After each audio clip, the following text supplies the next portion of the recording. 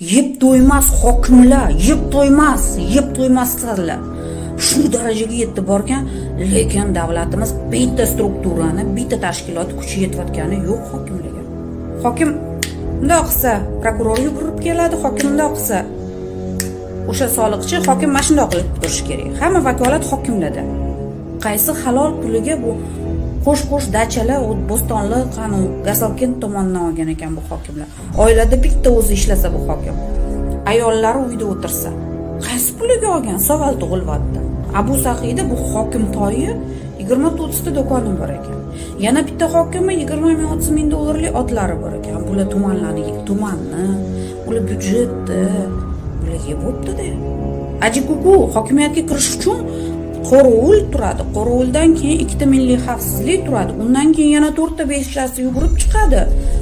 Shavkat miromonovich siz bir paytlar aytgansizda hokimlar mani vakilim degan deganingiz sizni vakillaringiz endi tankadek xalq ustidan ketyapti. Kerak bo'lsa ertaga o'zingizni ustingizdan ham ketadi shu hokimlar.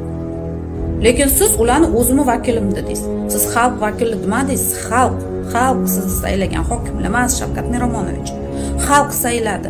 Nega siz hokimlarga bunchalik vakolat berdingiz man qiynalib ketyapman man oddiy fuqaroman.